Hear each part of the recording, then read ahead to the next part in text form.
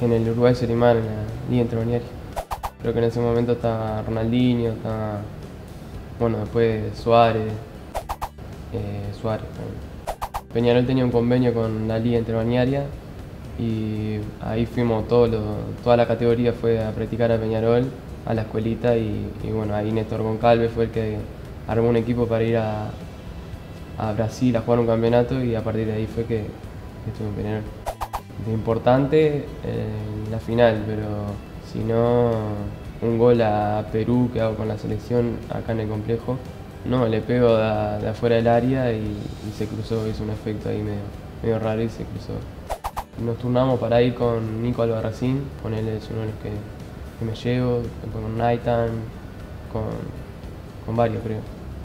Muchos nervios, pero me fui soltando a poco, pero, pero costó porque por los nervios. Contra Sporting Cristal fue el, el oficial. El campeonato uruguayo fue contra Rentista, que entré en el segundo tiempo. Contra Rentista en ese partido que entré. Bueno, me tocó entrar y pude hacer el zaguero intenta rechazar y me queda a mí en el, en el pecho, controlo y, y me voy a encarar al, al otro zaguero, lo eludo y defino ahí contra un palo. Bien, ganando, que era lo, lo importante. Costó cada partido porque todos le quieren ganar a Peñarol, a un equipo grande y, bueno, costó pero, pero se pudo lograr el objetivo.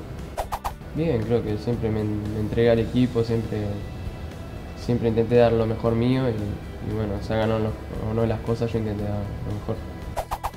Y consagrarme primero en primera, en acá, de Peñarol y, y bueno, ahora a corto plazo formar parte del, plantel de Sudamericano y después un mundial y bueno, ahí aspirar a más también.